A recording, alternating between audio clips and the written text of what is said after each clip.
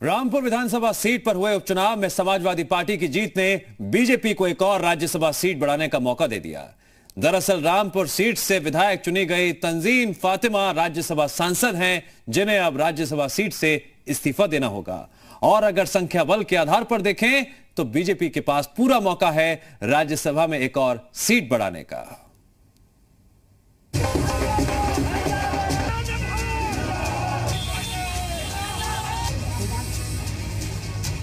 Rampur seat पर Samajwadi party की जीत के अपने मायने हैं। मगर उपचुनाव में हार के बाद भी बीजेपी फ़ायदे में है। बीजेपी रामपुर सीट जीतने में भले ही सफल न रही हो, लेकिन बीजेपी को राज्यसभा में एक और सीट बढ़ाने का मौका मिल गया है। दरअसल रामपुर सीट से विधायक चुनी गई आज़म खान की पत्नी तंजीन फातिमा राज्यसभा सांसद हैं।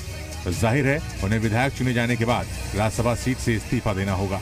ऐसी स्थिति में मौका बीजेपी के पास है। क्योंकि संख्या बल के लिहाज से बीजेपी राज्यसभा सीट पर आसानी से जीत दर्ज कर लेगी। अगर मत प्रतिशत के लिहाज से भी देखें तो रामपुर सीट पर बीजेपी के लिए आंकड़े उत्साहजनक तो नहीं, लेकिन निराशाजनक भी नहीं रहे। क्योंकि रामपुर सीट पर बीजेपी जहाँ 2017 से पहले तक तीसरे या फिर चौथे स्थान पर नज़र आती थी, वहीं 2019 में बीजेपी दूसरे स्थान पर पहुँच गई। अलबत्ता इस बार बीजेपी की तैयारी सीट पर फतह हासिल करने की थी, लेकिन सफलता नहीं मिली। हालाँकि मत प्रतिशत में ज़रूर वृद्धि हुई है।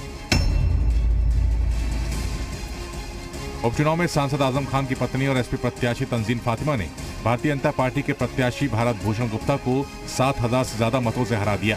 डॉक्टर तंजीन फातिमा को अठहत्तर तो वहीं बीजेपी के भारत भूषण गुप्ता को इकहत्तर मत मिले। बहरहाल, रामपुर विधानसभा सीट पर समाजवादी पार्टी का जलवा बरकरार रहा, लेकिन अब जो समीकरण बन रहे हैं उससे बीजेपी फ़ायदे में नज़र आ रही है। Bureau report, Zee Media.